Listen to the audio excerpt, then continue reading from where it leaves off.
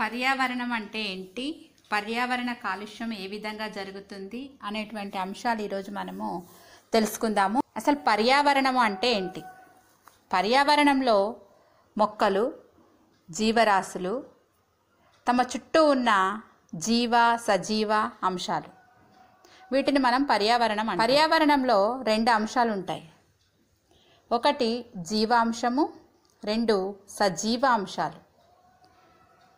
జీవాంశాలు ఏంటి అంటే జీవాంశాల కింద చెట్లు చీమలు జంతువులు అనే అంశాలను తీసుకోవచ్చు. సజీవాంశాలు అంటే భూమి నీరు గాలి. ఇవి పర్యావరణంలో ఇమిడి ఉన్నటువంటి అంశాలు. కాలుష్యం అంటే ఏంటి?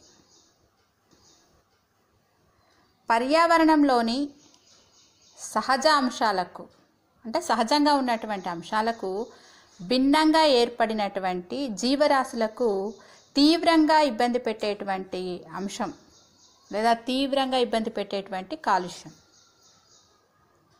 పర్యావరణంలో సహజమైన అంశాలకు విభిన్నంగా ఏర్పడినటువంటి ఇబ్బందిని మనము కాలుష్యం అని అంటాం.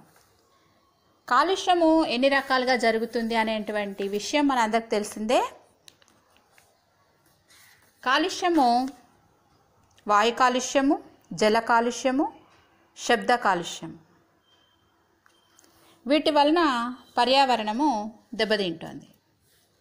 వాయు కాలుష్యము అంటే గాలి రకరకాల కారణాల వల్ల గుణాత్మకంగా పాడైపోయినప్పుడు వాయు కాలుష్యం అనేది జరుగుతుంది.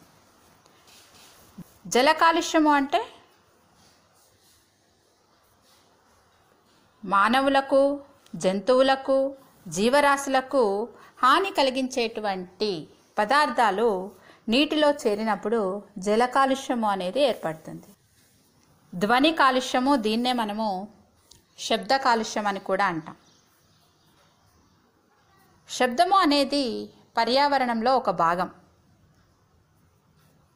ఇప్పుడు పారిశ్రామికంగా అభివృద్ధి చెందుతున్నటువంటి రోజులలో కర్మాగారాల నుంచి వెలువడేటువంటి ధ్వని వాహనాల రద్దీ వలన ఏర్పడినటువంటి ధ్వని రేడియో టీవీల ద్వారా వచ్చేటువంటి ధ్వని ధ్వని కాలుష్యానికి కారణమవుతోంది. పర్యావరణాన్ని పరిరక్షించుకోవాల్సినటువంటి బాధ్యత ప్రతి ఒక్కరిపైన ఉంది. మనం నెక్స్ట్ క్లాస్లో పర్యావరణ పరిరక్షణ ఏ విధంగా చేస్తాము అనేటువంటి అంశాన్ని తెలుసుకుందాం.